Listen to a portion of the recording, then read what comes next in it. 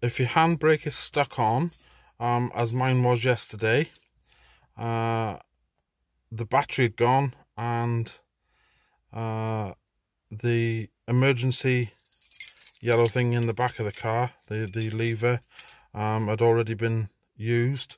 So uh, I couldn't use that again.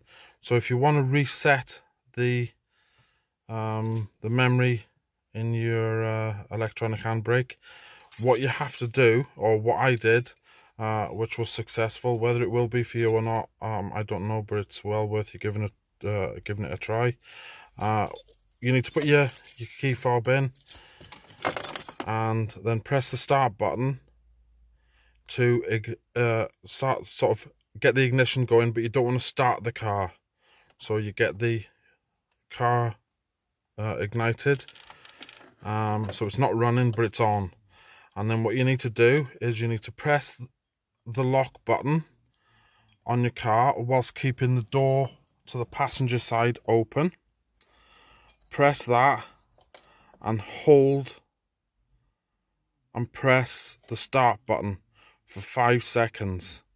Now, whilst doing that, you need to move across to the handbrake, which you can see mine is flashing, and pull out the handbrake. Now, I'm not going to do it because I've already um, done this procedure and it did work for me, as I said. Pull out the handbrake at the bottom. Once you've done that, press the button in the middle and you should hear the um, handbrake motor kicking into place. Hope that works for you. Um, and if it does, please feel free just to let me know in the comments below. Um, and if you'd be kind enough to subscribe to the channel, that would be good uh, for any other random stuff that I put on there. Um, but this this really drove me absolutely spare yesterday. I tried everything to try and do it, and that worked straight away. Um, so yeah, give that a go, and good luck.